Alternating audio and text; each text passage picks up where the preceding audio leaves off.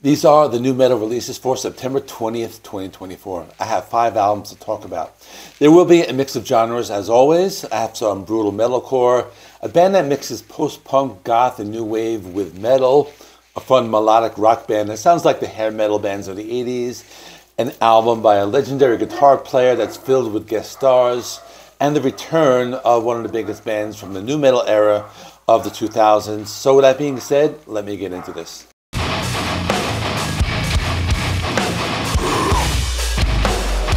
First album I have is from the band Kublai Khan, and the album is called Exhibition of Prowess. This is a metalcore band from Texas. They formed back in 2009, and this is their fifth studio album. This is a short album. It's only 23 minutes long, but it gets straight to the point in terms of its heaviness. This band has a sound similar to the metallic hardcore scene of the late 90s, with influences from bands such as All Out War and Hatebreed. Speaking of Hatebreed, uh, Jamey Jasta does some vocals on a song called Hopeless Fate. And the opening track is called Supreme Ruler. This is a short 55 second track that begins with a spoken section and continues with some heavy, pummeling stop start guitar riffs and some thick and heavy bass beats. This continues into a song called Darwinism, also very heavy and features the same stop start guitar riffs and some aggressive, hardcore style vocals. The guitars sound very heavy. There are some isolated bass guitar parts, and this band likes to have parts of the song where the song stops in its entirety, gives the vocalist a chance to let out some brutal vocals, and then after this is a song called Cannibal, which has some slow and heavy pummeling guitar riffs. There's also a groove element of the sound because the guitar player adds in some harmonics here and there. The song has some tempo changes in addition to the stop start nature of the guitar rhythms. There's a 46 second song called X, which is just a very fast paced hardcore type of song. This goes into Theory of Mind, which has lots of feedback and a thicker sound. This one moves fairly slow, but it's kind of heavy. I like the sound of the bass guitar in this one, and they have some sounds in the background that gives the song a more layered sound. Later on on the album, they have a song called A Hopeless Fate, and this one has Jamey Jasta. This is one of the faster moving tracks and has some of the more technical guitar playing, I guess I would call it that. I also thought the drumming was very intense on this track, and there are parts of the song where there is just drums, bass, and vocals. I like how this band is not afraid to let the guitar player just take a breather during songs and let the other instruments just come through. And you can hear Jamey Jasta's vocals on the second verse of the song. But overall, it's a short album. It's very heavy, very brutal. It's the perfect album for lifting weights or doing some other type of exercise. My score is an 8 out of 10. I think if you like bands like Hatebreed or Code Orange, uh, this is the type of album you can get into.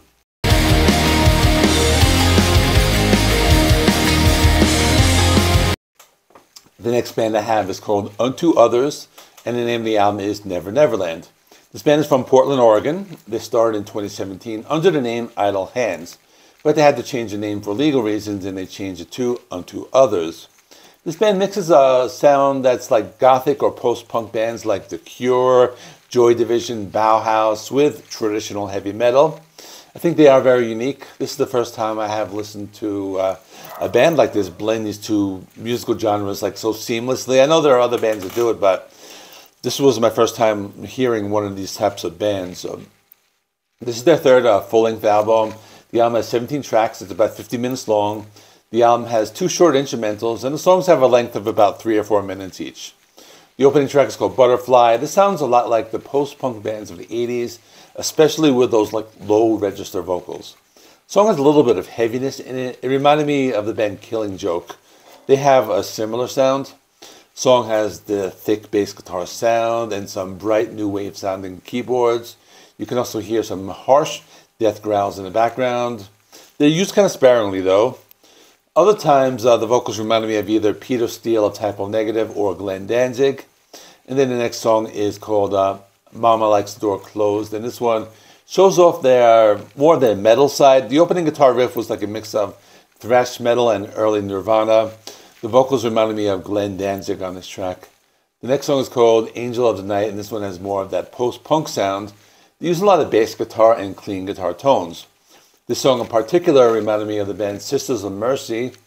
Towards the middle of the album, there's a song called Fame, and this has that post-punk sound like The Cure, but they also incorporated some heavy chugging guitar chords in the sound. After this there's a song called When Kids Get Caught. This one has a sound closer to the early 80s new wave and clean guitar tones with deep vocals. The album closes with a cover of the Ramones' Pet Sematary, which is the perfect cover for this band. And I've always thought this particular song by the Ramones had a post punk sound, but this band adds in some more keyboards and vocal layers. So I might even like uh, this song better than the original Ramones song. But overall, one of my favorite albums of the week. I would have done a full review of this had I known about this band earlier. My score is a 9 out of 10. Maybe my favorite album of the week and possibly the month.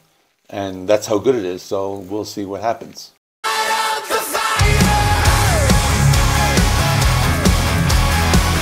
The next album I have is from the band Eclipse. The name of the album is Megalomanium 2, and this is the sequel to their album Megalomanium from last year, which I had also reviewed back when it was released.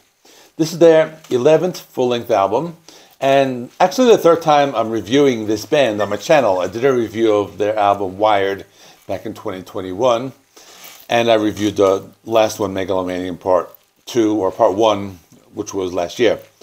But this band Eclipse is a Swedish hard rock band from Stockholm. They're fronted by Erik Mårtensson, who is someone I believe is much more popular in Europe than in the Americas. I had only learned about this band like three years ago when I reviewed their other album. The band plays melodic hard rock or AOR, but to my ears, they remind me a lot of 80s Bon Jovi. They write super catchy songs with big hooks and memorable choruses. The album has 11 songs, it's 39 minutes long. Most songs are about three minutes in length. The opening track is called Apocalypse Blues, and this is just a very 80s sounding song with a big chorus and lots of driving bass guitar rhythms. The next one is called The Spark, and the first few seconds of the song reminded me a lot of Bon Jovi's You Give Love a Bad Name. It had a vocal intro that reminded me of that, but afterwards it kind of goes into this techno dance type of sound, which wasn't really a Bon Jovi copy. This song also had a big chorus and was super catchy. The next one was called Falling to My Knees. This was more of a guitar oriented song and had a lot of melody. There was a song towards the middle of the album called Still My Hero. I guess I can call it a power ballad. It had a softer verse section. It was a very Bon Jovi sounding type of song, but more of that later 90s Bon Jovi sound. The lyrics of the song are very emotional. They seem to be about someone, I imagine either a mother or father, who has passed away, and this person is reminiscing about all the things that this person had done for them in the past. So I like the lyrics of the song. After this is a song called Dive Into You, and this is a better example of a power ballad as it's softer than the previous song. I thought this one sounded much like the ballads of the 80s glam metal bands. Overall, the band is very consistent. I think their albums uh, mostly sound the same from one to the next.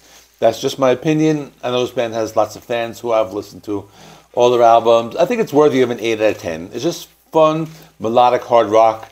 Songs are well written and catchy, so I like it.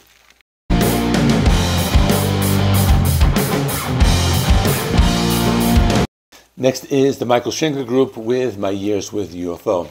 I don't really need to tell you who Michael Schenker is. He was with Scorpions on the first few albums, and then he went with the band UFO, and he's pretty much been solo since the 80s, and he's had different variations of the same band under the same names, and I don't need to go into all of that.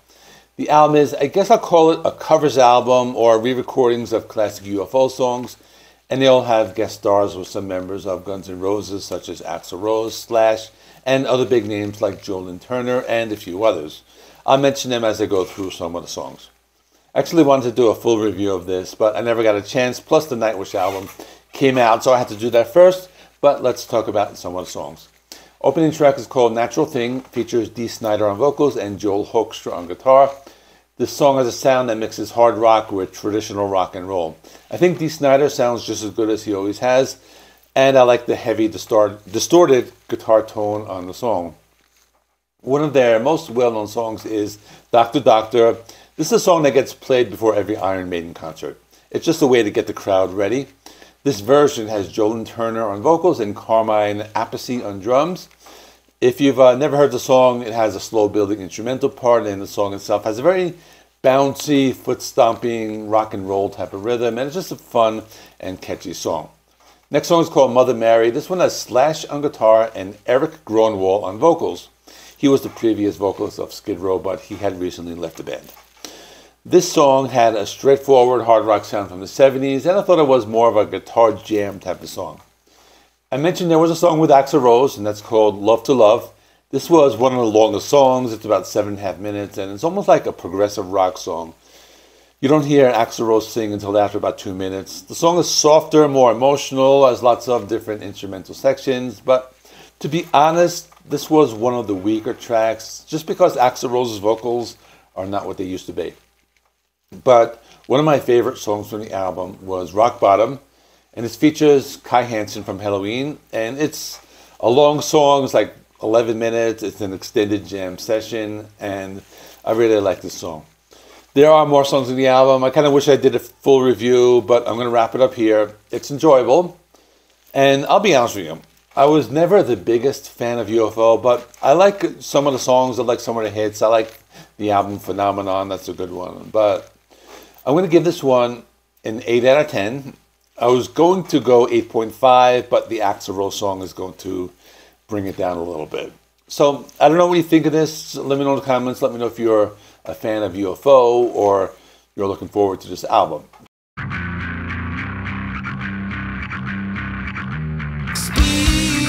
The last album I have is Seether with The Surface Seems So Far. Seether there is a South African band that was mixed in with the nu metal bands of the 2000s, but I would consider them more of a post grunge band. You can hear the Nirvana influence in their sound. And they're back with their first album in four years, and it's pretty good. I haven't listened to this band in a long time, but this sounds just like I remember them. So let's talk about this album. The album has 11 tracks, its total runtime is 47 minutes, and each song is about four minutes long. The opening track is Judas Mind. This one has a little bit of everything. It has the distorted nu metal style guitar riffs, has the more atmospheric, cleaner guitar tones. It has melodic vocals as well as some harsh vocals in the second half of the song. And it was a pretty good opening track, very uh, representative of their sounds. They continue with a track called uh, Illusion. This continues with a signature sound, including some very intense screams in the second part of the song. The next song is called Beneath the Veil. This one has a sound that's a little bit more stripped down. The first two songs were very heavy, but this one had more of that post grunge sound. So I enjoyed the song. It was much more melodic, a little bit more radio friendly than the first two, but that didn't bother me at all. So I thought it was a good track. After this is a song called Semblance of Me. This is another one that had more of the a laid back vibe and a post grunge sound. It reminded me a lot of the band Staind. It was also because it had a very emotional and self reflective lyrics and you can hear some very uh, heartfelt and aggressive screams in the second half of the song, and I like that part as well. The rest of the album has some pretty good songs. There's one song called Try to Heal, which shows off some of their heavier guitar riffs. I also like the track called Same Mistakes, which has some lyrics that are very relatable, talk about how people look at their past. Towards the end of the album, they have a track called Dead on the Vine, one of their heavier songs, and you can hear it in the thick guitar riffs. Uh, overall, I like this album a lot. It reminded me a lot of Staind's Confession of the Fallen album from last year. It has a lot of emotional lyrics, a mix of their signature sound that blends the heaviness of nu metal with cleaner atmospheric alternative rock sounds of the 2000s. I'm going to give this one an 8.5 out of 10. Another album I wanted to do a full review of, but it was a packed weekend and I didn't have time. So let's uh, wrap this up. So that is all. Check out last week's episode of the new metal releases of September 13th. Thanks for watching. Please give this video a like. It helps me with the YouTube algorithm. Please subscribe if you're not already. I do rock and metal reviews. I do rankings. I do tier lists. I do classic album reviews. I have memberships on my channel. If you want to check that out, you can make requests and you can get early access to my videos. So I'll see you in the next one.